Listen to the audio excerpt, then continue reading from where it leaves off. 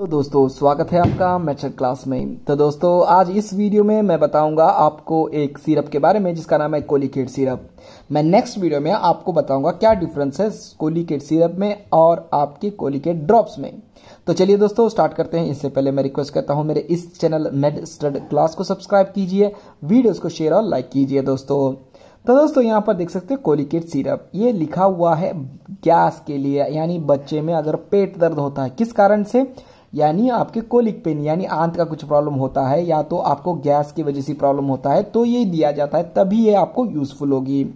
दोस्तों, ये जो है 60 एम का पैक आ जाएगा, जिसका प्राइस होगा नियरली हंड्रेड एंड रुपीज़ यानी एक सौ ग्यारह में आपको मिल जाती है।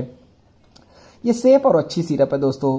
इसके अंदर दिल ऑयल, फेनल ऑयल और विथ सेमेथिकॉन होती है। लेकिन याद रखिए दोस्तों, कितनी भी सिंपल सी दवाई हो, आपको डॉक्टर की सलाह के बगैर, पर्ची के बगैर, कंसल्ट के बिना कोई भी दवाई मत डालिए, क्योंकि प्रॉब्लम कुछ और होता है। अननेसेसरी आप दवाई डालते हो और कॉम्प्लिकेशन में आ जाते हो। इसीलिए कृपया करके बच्चों के मामले में भी या बड़ों के मामले में भी डॉक्टर की सलाह बहुत इंपॉर्टेंट होती है।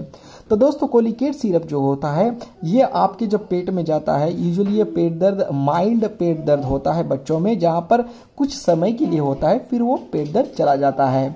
अगर असली में जो पेट दर्द होता है, जैसे कि मानो कि अपेंडिसाइटिस होता है यूरिन इन्फेक्शन का होता है किडनी में इन्फेक्शन है, वो दर्द कभी भी नहीं जाता है।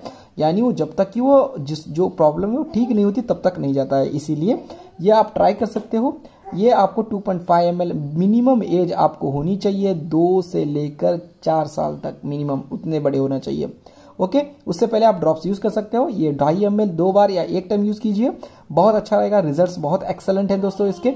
और इसके अंदर जो होता है नेचुरल कंटेंट्स भी हैं और एक एलोपैथिक ड्रग भी है सेमेथिकॉन तो इसीलिए कृपया करके देख कर इस्तेमाल करें। डॉक्टर की पर्ची के बगैर इस्तेमाल ना करें। अगर पेट दर्द इससे ज़्यादा होता है या तो सबसाइड नहीं होता है, कम नहीं होता है तो आपको डॉक्टर की सलाह फिर से लेनी होगी। अल्ट्रासाउंड अपडाउन स्कैन करना होगा कि देखना होगा कि क्या कारण है। ओके तो चलिए दोस्तों thank you so much subscribe कीजिए शेयर कीजिए और लाइक कीजिए इस वीडियो को. Take care bye